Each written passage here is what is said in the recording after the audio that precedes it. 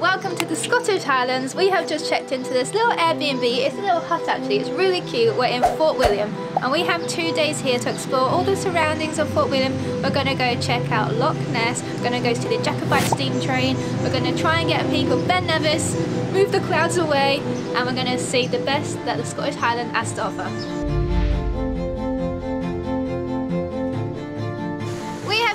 Pulled because this spot looks so pretty. There's a waterfall to my left and a big lock to my right. And we actually aren't sure what this lock is called, so we're just going to go and try and find out the sign over here. So we are actually, I think it's Loch we're at, and there's this uh, kind of channel that runs all through the, uh, the land, and then it opens up into lochs. And a little bit further up the road is actually Loch Ness, which is the most famous one I would presume. It's where the Loch Ness Monster supposedly lives and that is where we are driving to today. We are at Loch Ness now and we've actually come to Urquhart's Castle. I hope I'm pronouncing that right. We actually weren't planning to go and visit, but I'm going to say again, our English heritage passes got us half price to historic Scotland. So like Edinburgh Castle, we get a half price discount on our tickets so we thought, heck, that means it's only £13 for both of us to go, so we thought we'll go check it out. We just watched the film in the information centre and we learned a lot about the history of this place. It changed hands many times over the years uh, and it was the subject of many seizures as well. And people coming in to storm the castle and try and take control. Some failed, some were successful, and the last thing that happened, they blew it up because why did they blow it up? So they blew it up and left. So when the Jacobites came, it was too damaged for them to uh, kind of take over and control.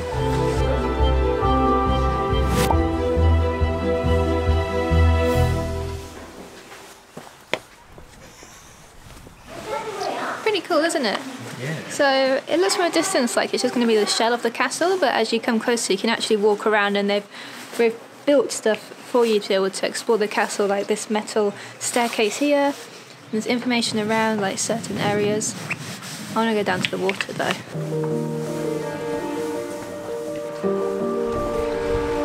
I'm really curious to see how cold the water is.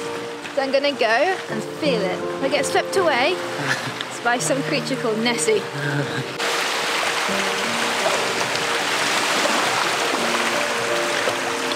Yeah, it's quite icy. I could probably go in there for a quick water swim, but I won't be in there long.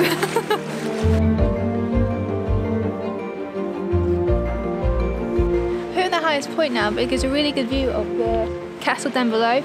And then you can see the lock but over around the left is like a old sailing boat. They do tours actually, they do tours on the on the loch, cruising tours, I guess like day trips, half day trips out of the loch, which would be pretty cool. I think if we had a nicer day, it'd be a bit nicer. It's a good way to explore because it's so big this loch.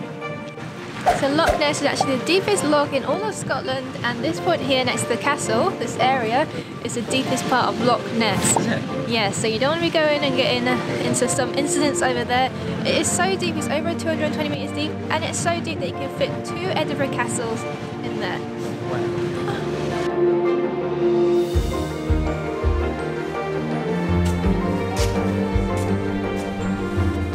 Down it? I'm a bit scared. I would be.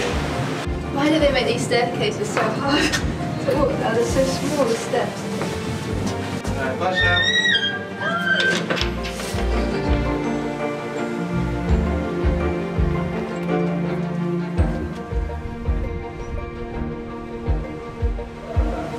I wonder if that's a true story or it's like a tourism story. Definitely tourism. I think somebody, like in the very early 20th century, maybe late 19th century, it started with rumours of a big fish. And then I think some people um, came back really scared one time they thought they saw something. And then there was this one photograph which went very well viral for those days. It went very famous in all the newspapers. This person took a photo while on holiday here and there's like a little uh, like a what does it look like the, the Nessie it's like a sea snake. sea snake underwater marine creature, mythical. And it's just been like this story ever since. And I guess they just keep with it because so many people come here because they hear of the Loch Ness Monster. We're leaving Urquhart Castle now, but on the way out there is one last thing to see. It is a trebuchet um, what they would have used to smash castle walls and I think the English brought them up here and sieged a lot of castles in Scotland that way. This is the old bridge of Invermoriston, I think. Um, yeah, and it has, it's actually, from the road you can see this pretty bridge, but you can't see the waterfalls. So it's actually a lot more ferocious than I thought. It's a lot of water there. So we're gifted here with two bridges to look at. We have one which is the road bridge, one which is the footbridge, and that overlooks the waterfall behind me. Um, the water actually looks a little bit brown right now, maybe that's because all of the rain. Um, and it's a bit too turbulent to swim in, I think. Maybe good for whitewater rafting. Not sure if they do that here, but Very pretty though. it is very pretty. Should we send the drone up?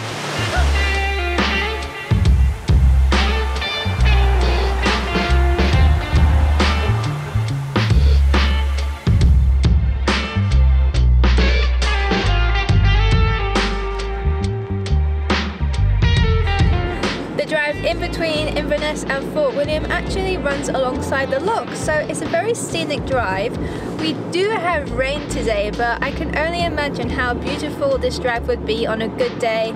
Uh, this place, it looks really stunning. They've got these all these mountains around us and these high pine trees, and it's very beautiful. You're just expecting a deer to pop out, and we really hope we see some fluffy cows. Corey was just saying how mythical it all feels up here with all the forests and the lochs, especially in the Highlands. Oh, something's happening. What is it? Very exciting. We've just pulled over because we have spotted some Highland cows. They're so cute. We really wanted to see some on the trip. They're just iconic when you're having a road trip through Scotland.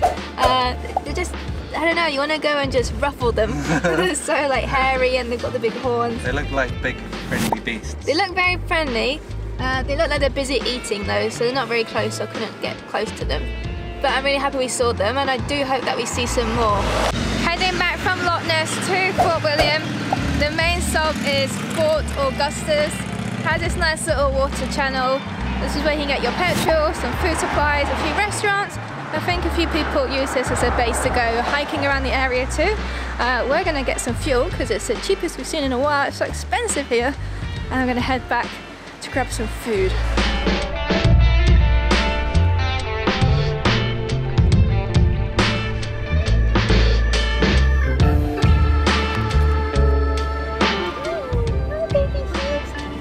Crossing the road. I hope they'd be safe. It looks like they're staying just with the grass. Mummy sheep taking her baby sheets out for an evening walk. Hello. And one here. That's not safe. You might have to go and shoot one.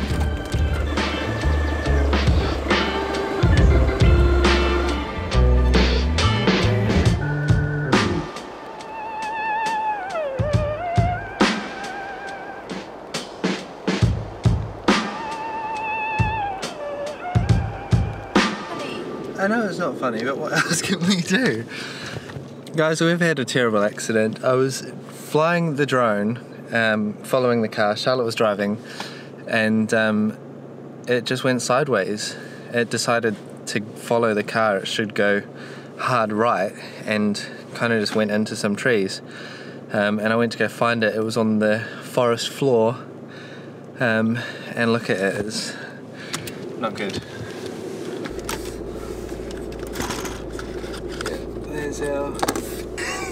God. It was. It's going to happen eventually, wasn't it? A month? well, how did?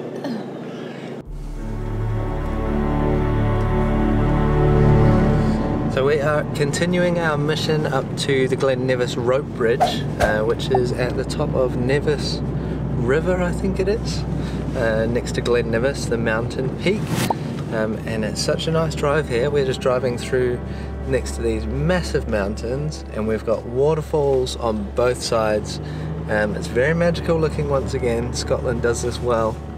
We keep crossing these tiny little bridges too. Um, it's looking very epic. We would show you some drone shots right about now, but we don't have a drone now. Nevis?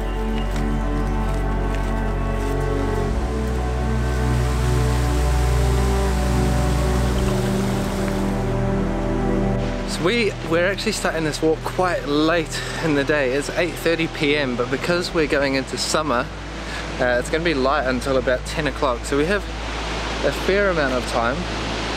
I don't know if you guys can hear that as well, but that is the sound of the water below. All of the creeks, tributaries are running down the slopes of the mountains, down into the valley below, and there is a lot of water down there.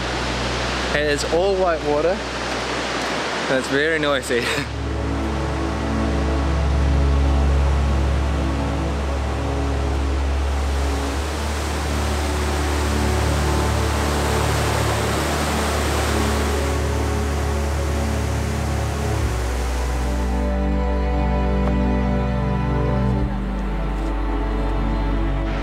Midgie update, they are out and they are attacking.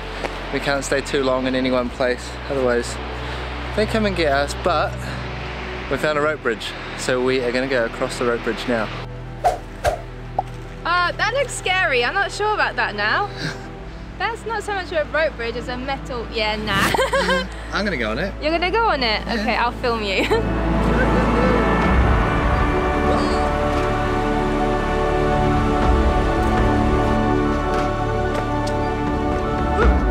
That was cool. But at some point in the middle, the ropes twist over and it sort of like jolts you down a bit. Oh my god. it's way too wide. This is built for very tall men.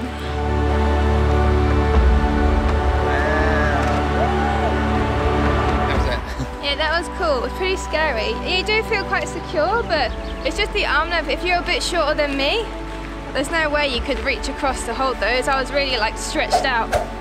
But uh, beautiful spot. It's so nice. Imagine being here on like a Bring a picnic here in the daytime. If you were here on a warm, sunny summer's day, this would just be so idyllic. It's like massive waterfall over that side, massive waterfall over that side, and then up there, if it weren't cloudy, you'd probably see UK's tallest mountain, Ben Nevis.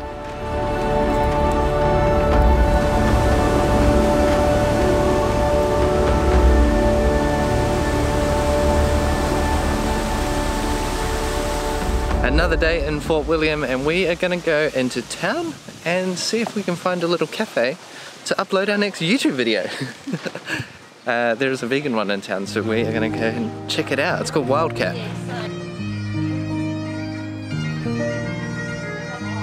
Okay, so there was a bit of a queue, but we've got a table now. and We're just looking at the menu. There's a lot of stuff to order. The coffee menu seems pretty extensive.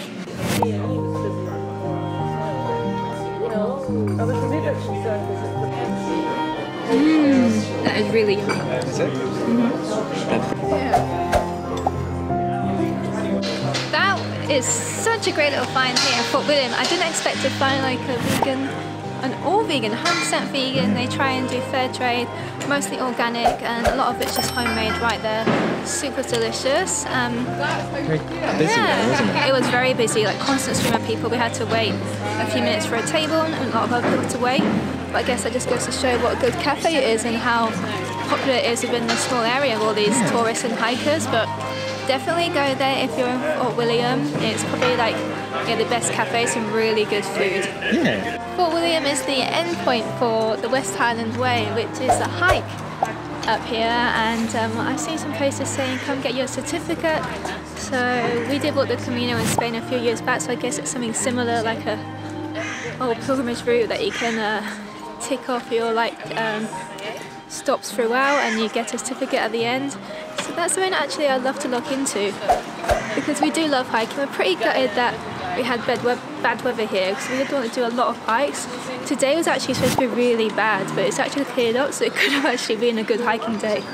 But we didn't want to take that risk this morning because it was pretty terrible yesterday. You can't hardly see the mountains, and it's And really what you want. you slept until nine o'clock. I'm pretty tired to be honest too. yeah, West Highland Way is something we'll have to look into because this is just like a taster trip for us for Scotland. Yeah. We definitely want to come back. We've only been up here for six days. so Of course, there's so much we want to see that we need to get back down to Cornwall. But definitely would love to come back. Just outside of Fort William is Neptune Staircase. Uh, it's the longest staircase lock in Scotland And if you're into those kind of things, this one's pretty cool to see. It actually has a beautiful view of the mountains down below. Uh, however, we just popped in because we are on the way to see the very special Harry Potter famous bridge.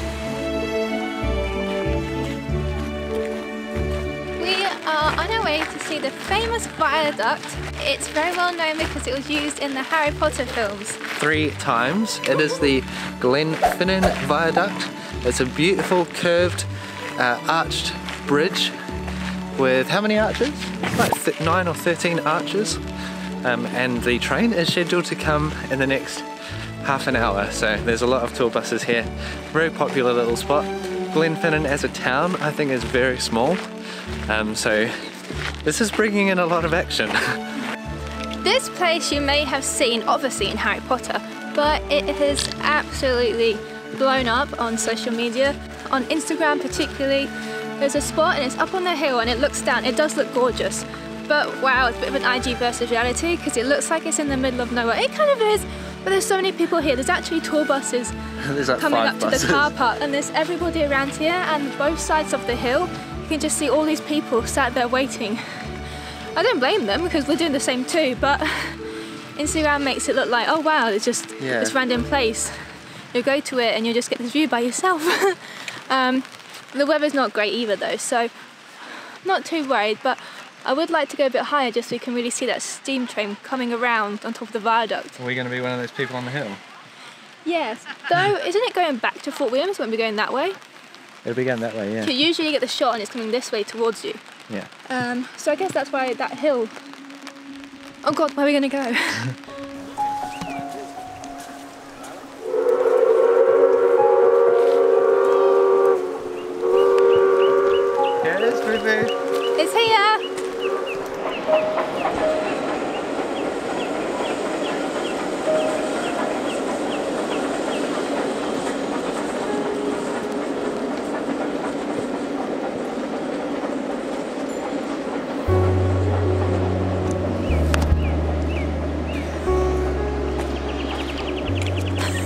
was it? Uh, that was a bit underwhelming. I think that would have been 10 times better if you were sat in the first class train carriage of the Jacobite steam train. and that is that. So, um, what would we recommend if people were to come here and see that for themselves? it's one of those places where you say to people, go early to beat the crowds, but you can't because the train only runs at certain times. And Yeah. there's actually tour buses coming here for those certain times. And I don't blame it, like, it would be cool. I think if you want to see that, go on top of the hill. Like, we were here a bit too late. I think we thought it was coming a bit late. Well, Corey thought it was coming a bit later.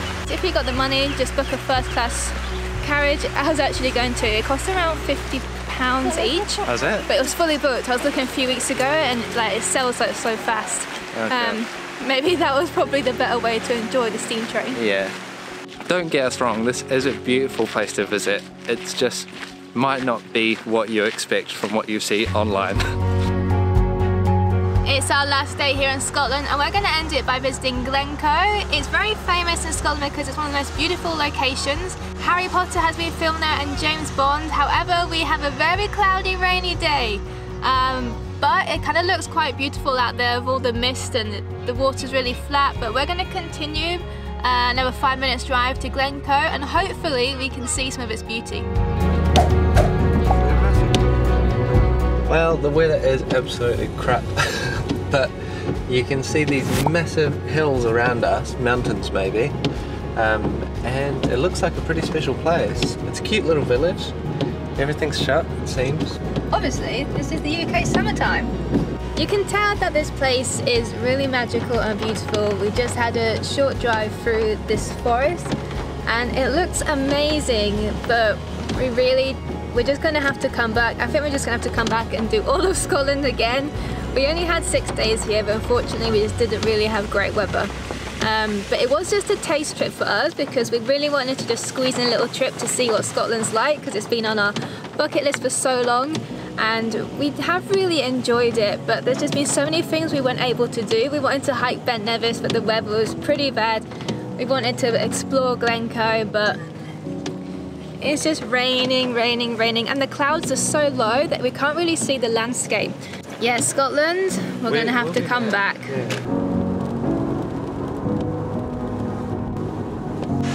Okay, well, we have just pulled over to this kind of viewing area on the side of the road, and we have behind me one of the most beautiful views I've ever seen. Like Glencoe, we're literally just driving through here and to, to see what it's like for another future trip, and it has just blown me away. I don't really want to leave, but we have to.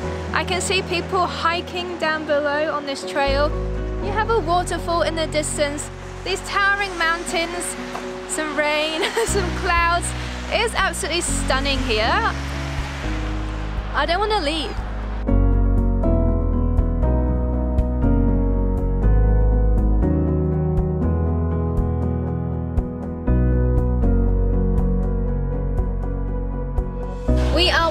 100% wanting to come back here, especially to Glencoe. It's absolutely stunning.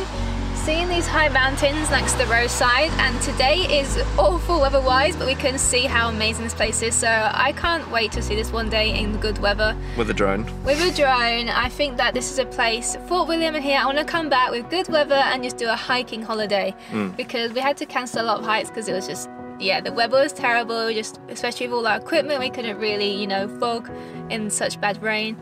But absolutely stunning. This place feels really special and Glencoe, we're going to end it here, but we hope that we can start another vlog one day in Scotland back here.